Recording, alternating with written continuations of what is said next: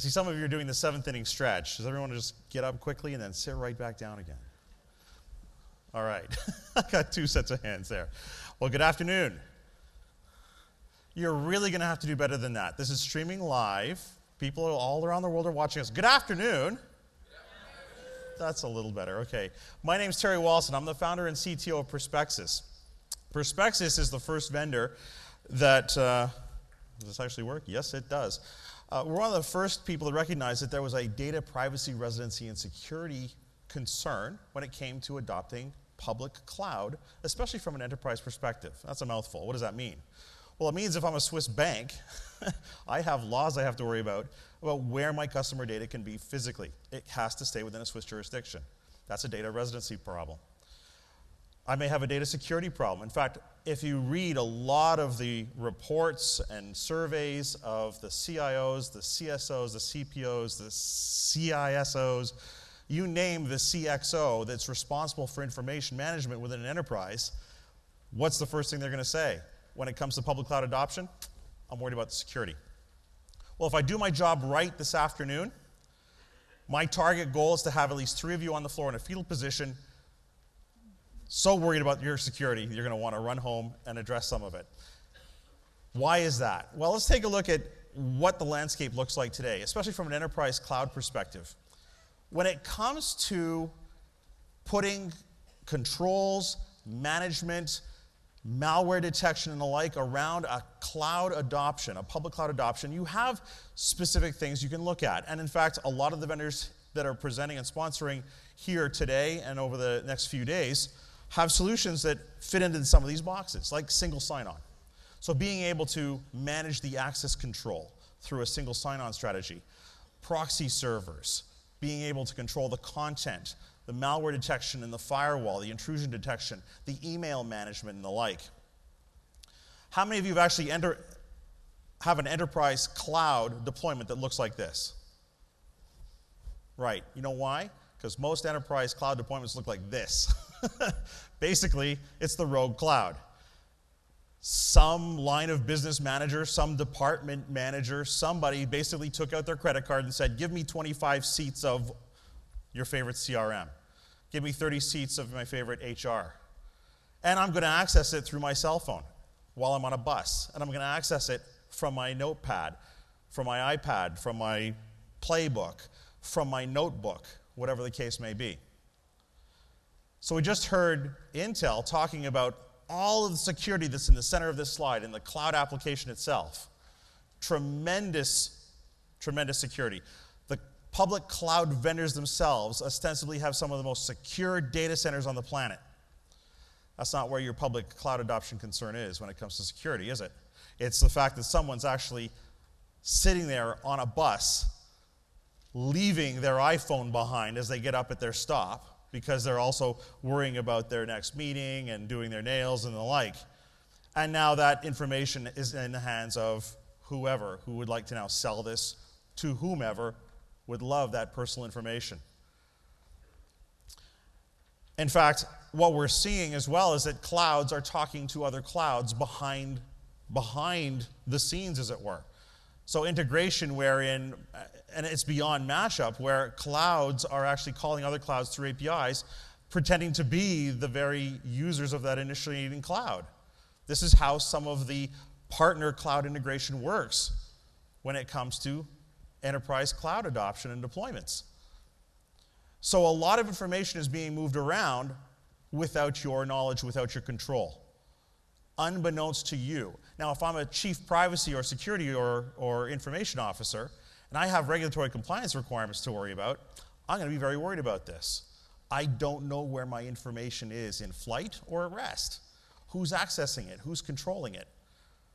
Now, I said hackers as well. This is just the, the, the, bread and butter where I may have inadvertently forgotten my cell phone on a bus. But let's take a look at some of the attack vectors that the hackers are using today. Anyone actually seen a phishing email? Or worse yet, a spear phishing email? Oh, come on, someone's got to raise their hand. Yeah, thank you. Okay, most of you have seen the phishing I don't know about you, but I've been asked to move I don't know how many billions of dollars from Nigeria and from other South African states to some unknown account in somewhere in North America. Yeah, people are nodding their heads going, Yeah, you too? Wow, I thought I was the only one. Or I've just won something, or some long lost relative has died that I never even knew about, and I have to go take care of their estates. A lot of these things are just designed to get you to a certain place in order to affect your system with some of the th- other attack vectors that are, that are on this list. But now spear phishing is, is becoming the norm. Spear phishing is those phishing attacks, but now targeting you personally, where it's no longer, you know, dear sir or madam, it's dear Terry Woloszyn. That's right, I know who you are. I know where you live. I know where your kids go to school. I know everything about you. So certainly you must be able to trust me. They're spear phishing because they've gotten that information from somewhere else. There's the email links, getting you to whatever site then is going to install some nefarious piece of software on your, on your machine, or an app, a rogue app. Like that hasn't happened before in terms of the iPhones or, or the other smart devices. Wi Fi hacking and drive-bys, the mobile applications themselves that are now being um, put out there with backdoors, Trojan horses, and viruses infrastructure that you constantly have to worry about. How many people have updated Windows today? Oh, come on, you all running Windows? You updated it today, whether you liked it or not, right? How many security updates can you possibly have in a minute? Those are the kinds of things that the vendors themselves are constantly having to worry about, and we are under a constant bombardment of, of these kinds of threats. But now, draw a line. That's something that everybody, whether you're a home user or a, or a, business user, has to worry about. Now, everything below that line, that's where it gets really interesting. And furthermore, from a public cloud enterprise perspective, gets really scary. Because now we're talking about insider threats. And we're starting to see a lot of this emerging. You have to start worrying about your users, your enterprise users of this information. Because these people are now being co opted and asked to please get this information if you will. I want to take this information, I want to sell it to somebody else. The, a DBA, for example, two years ago was caught selling a customer database. Five bucks a name. That's how much that was worth to that individual. And there are apparently hundreds of thousands of names that this individual sold. Insider threat is something that you have to start worrying about when it comes to all of your applications, but even more so from the cloud, because as you saw on the previous slide, that cloud is now accessible from anywhere. These, the insiders as well as the bad guys could be sitting at home in their jammies now hacking. They don't have to have physical access even to your, your premises. So you may have the best, the best um, you know, biometric scanners to get into the doors and the man traps and everything else, but if the person's sitting there sipping their cup of coffee from their den, hacking into the cloud via credentials that they phished from one of your users, it doesn't matter how much you spent on that physical access, did it? So we can't secure public cloud the same way we could secure on premise applications. It just doesn't work that way. It's two very completely different beasts that we're dealing with. And remember that word, beast. I'm going to come back to it in a moment. But now we get into some really interesting stuff. Who here has heard of Stuxnet? Yeah, there's a few hands. Why is Stuxnet so important? Well, just briefly, what Stuxnet was all about, and I'll, I'll actually, i am going to forward to a slide. Um, actually, all right, it's wrong slides. And it's not going back. Go back. Thank you. What, what was interesting about Stuxnet was the fact that this was crafted like a cruise missile. It knew exactly where it was going, it knew exactly what it was targeting.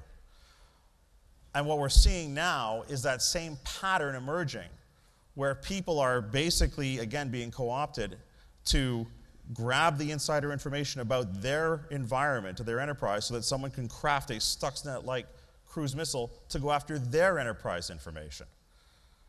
And that includes, again, that front door to, to the cloud. We're seeing strategic campaigns as well, where one hack then leads to another hack. We saw the RSA hack that led to the Lockheed Martin information breach.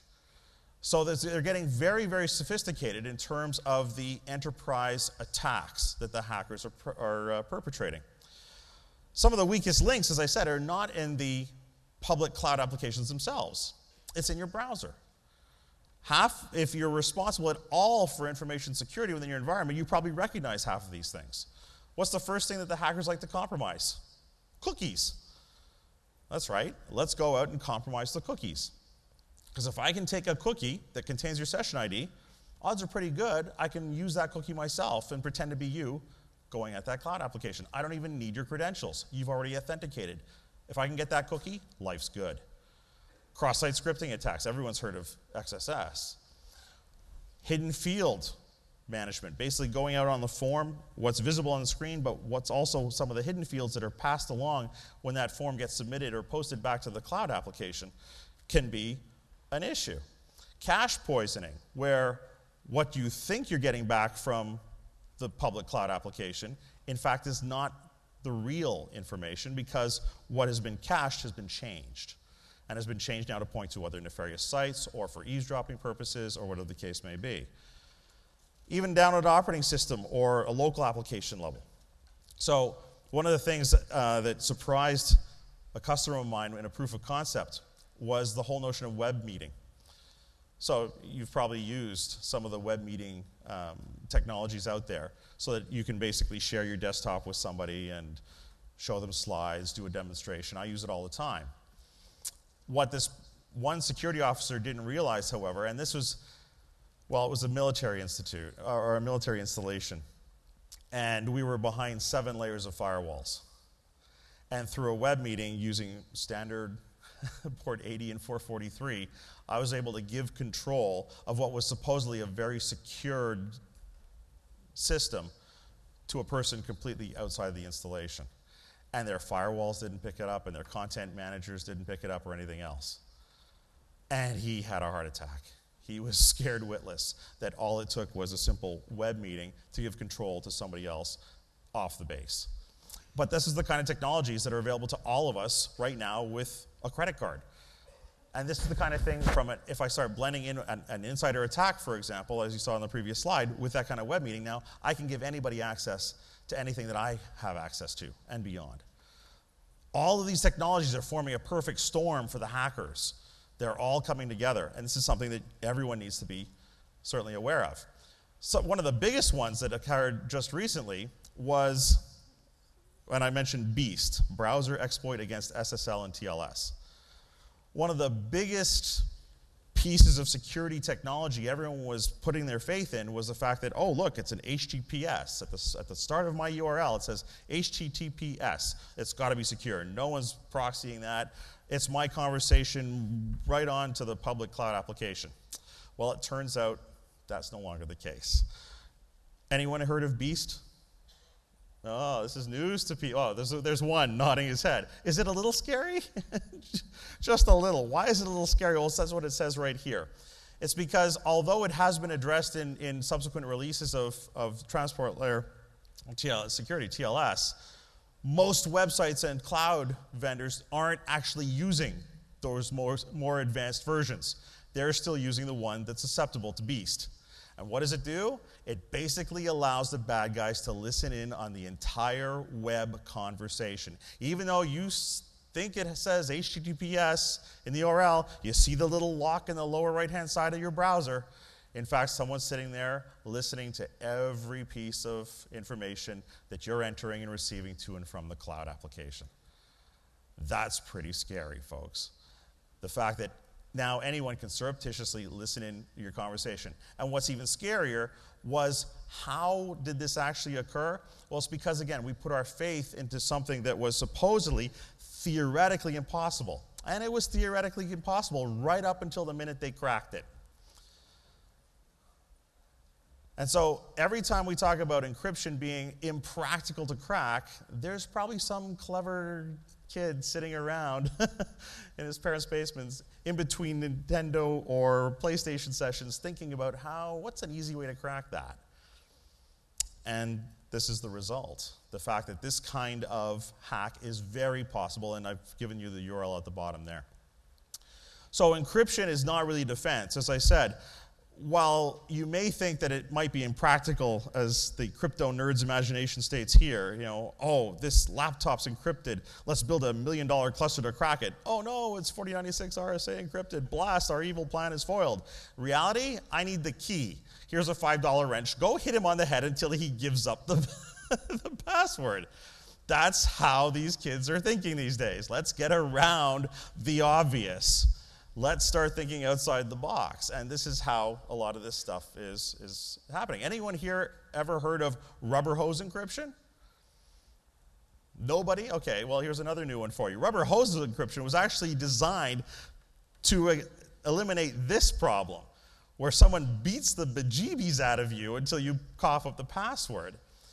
What it does is it actually encrypts it twice. You can give up one password and it will decrypt to something innocuous, like, you know, pictures of my new puppy.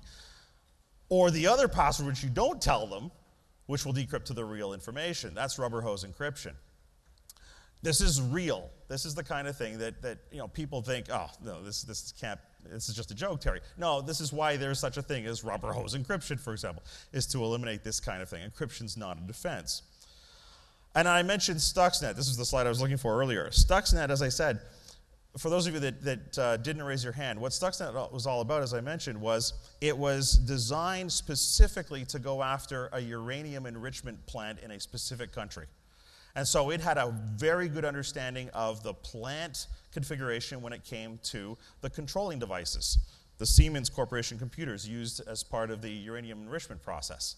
So it was basically infected, in this case, uh, over 155 countries, tens of thousands of computers looking for the particular target.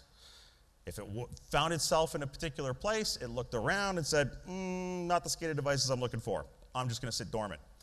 What they've discovered now is that pattern has now been refined. And I, I pronounce it Dooku because I'm a big Star Wars fan, so it's Count Dooku to me. But Duqu, basically, they've taken the pattern and said, all right, guys, let's send in the drone.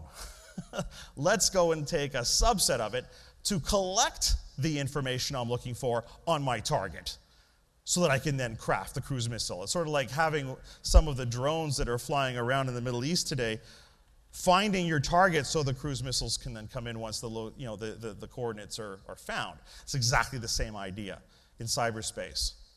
So now you've got to ask yourself Am I a potential target? What would make me a target? What kind of information am I dealing with when it comes to my enterprise? Is it customer information? Is it healthcare information? Is it tax record information? You know, what kind of information am I dealing with? Is it intellectual property? Is it military secrets? Whatever the case may be odds are pretty good you, everyone in this room, if you're dealing with any sort of information management, are dealing with some piece of information that is worth something to somebody. Anywhere from 50 cents to five bucks for your personal information. Why? Because the, whoever buys it can steal your identity and make thousands of dollars off of you. And then you're spend, spending years trying to repair your credit rating. That's just your personal information. What kind of what, what could they do with some of the more advanced intellectual property. This is the kind of thing that these things are designed to go after.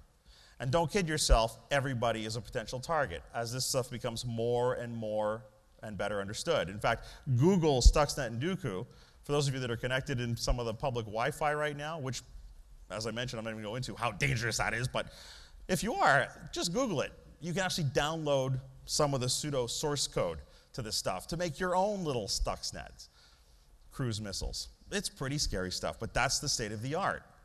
This is something that you need to be concerned about. Because otherwise, this could be you. You know, you could be the next TJ Maxx. Dubious honor at best, right? You could be the next Honda. You could be the next Epsilon. Epsilon's a good example because it's one of the first cases where a cloud like vendor was hacked so that all of their customers' customer information could be taken and used. I'm sure a lot of you who are sitting in this room today are probably victims of the Epsilon data breach. You probably received letters back in the spring from your financial institutions, from your insurance companies, from whoever was using Epsilon from a mass email marketing perspective. And you received information basically, or a letter basically saying, Beware, you're about to get spammed, because at the very least, they got your email address. I know I personally got five or six of these things. Every one of my credit cards, my financial institution, and some others as well. And then there's the more, I mentioned you, you thought I was kidding about uh, you know Stuxnet and whatnot targeting particular companies. Who here heard about the Lockheed Martin data breach? Yeah, a few hands went up. What was so so special about that one? I, basically, a few months prior, those same hackers had basically gotten their hands on the RSA two-factor authentication software and we were able to use it to basically walk right through the front door of Lockheed Martin. That's a pretty scary thing. So, stuff that we thought, oh, you know, it's just, I'm walking around with a fob, it's generating a number. What are the odds? Well, the odds are they did it. They cracked into it because it was valuable to them to do so. Those are the kinds of things that we have to be aware of and cognizant of. These are, may sound like isolated instances today. I, I gave a, a, at the Cloud Expo East, I gave a, a talk that you can see online. It's War in the Clouds. It truly is becoming a war. These aren't script kiddies sitting in their basements anymore. These are nation states that are coming after this information. So when it comes to public cloud adoption, as I said, you can audit the cloud vendors and you're going to probably be pleasantly surprised to find they are incredibly secure. It's everything from the user's fingertips to the firewall of that cloud vendor you need to worry about because that's the soft underbelly of the target. That's the easy pickings. That's where you need to be worried about it. So just briefly, what, are, what is Perspecsys all about? Well, as you can see, it's kind of really shaded there. It looks like it's in a snowstorm, but it's taking those other two, Rogue Cloud and you know, Utopian Cloud, bringing it together and giving you one control point. That's what Perspecsys is all about. And that's all I'm going to say. You can come see us at the booth on the Cloud Expo this evening and, and uh, for the rest of the week, and I can describe it more to you. But basically, what we do is restore that control point so that you can have the anti malware, the intrusion detection protection, the basically making the cloud mission critical by giving you back all of the privacy, residency, and security controls that you would normally associate with an on premise application behind locked doors with a priesthood and the raised floors, but now replacing it, as you see on the right, with a public cloud. Basically, bringing you hybrid computing from a public cloud perspective. So you can adopt the salesforce.com. So you can adopt the Oracle CRM on demand. So you can adopt the Workday, the NetSuite, the Taleos, and the other public cloud enterprise applications, but start addressing some of these concerns that the hackers are bringing to the table. Again, my name is Terry Walls, and I want to thank you very much. Did I achieve my objective? Did some of you get a little concerned about some of the things I was introducing you to? Well, let's find out. If you were a little concerned by Terry, let me know because I'm going to give you a microphone. Let's use Terry while he's here and ask him some questions. Come along. Who did you terrify? Here, up goes a hand. There's you one. didn't have to. Ter- I'll come to you next, sir. Hang on. Let me give one over here. Hey, Terry. Uh, you're talking about what happens within a session at the user level. Yes. What if we tied that down to stricter measures around administrative access uh, on, on the local desktop laptop? Would that improve uh, uh, or mitigate the risk? Well, in fact, you know, most of the customers, oh, my slides are off. Most of the customers that I deal with uh, from an enterprise perspective are still running IE6, for example, because they've done exactly that. They've locked it down. You can't access the proxy settings, you can't, whatever the case may be. The challenge they have when it comes to that's perfect. The challenge they have when it comes to the cloud adoption, however, is you don't have the same con, you know fine-grained control over any of those things when it comes to the mobile devices, the smart devices, the public cloud access, the guys that are sitting in Starbucks with their notebooks connected to that, that free LAN. That's the challenge that the enterprise is facing with the rogue cloud adoption, is that you're absolutely right a lot of the enterprise customers I deal with, like I said, have locked down that desktop so tight that it's, it's, it's hard to squeak. The challenge being, though, that the moment that user gets on a bus, they're right back at the same application on device that they have no control over whatsoever. So, part of what we want to do is bring you back that kind of finer grained control even though you don't have physical control over the browser, you know, the Safari browser on the iPhone, for example. But what if I could at least control the path that that thing's going through so I can make sure that, regardless of what's happening on the Safari browser, I'm not letting the malware get to it to begin with. I'm not accepting any malware from it as a vector because something else has polluted the device. So it's taking, again, an out of the box approach to that, that problem and saying, I, you no longer have control over the browser, but let's basically put the browser in a box on its own and start controlling that box. Make sense? Okay. Another question here. Uh, I was actually hoping to hear a lot more about your solution. You, de- you described the problem really well, but uh, you didn't talk much about what you have to offer and how it works, etc., and how are you able to protect the architecture. Something more.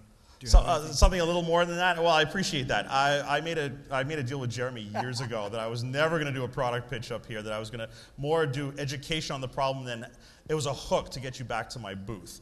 But but Yes, yes, yes. Quick, a round of applause for that because he sticks to it.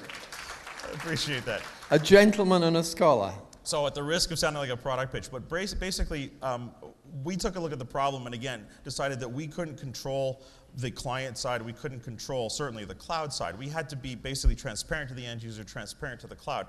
And by putting ourselves in the middle of the conversation, as the slide denotes, we're able to then ensure that, as I said, we're, from a wire level on up, we can look for everything and anything that is potentially cross-site scripting, potentially malware, intrusion detection uh, and prevention. I can look at the audit logs, the information that's flowing back and forth. So regardless of whether I'm a chief information officer, a security officer, a privacy officer, I can help you whether it's from an auditing perspective, so I know, oh look, that line of business is sending customer information to a public cloud.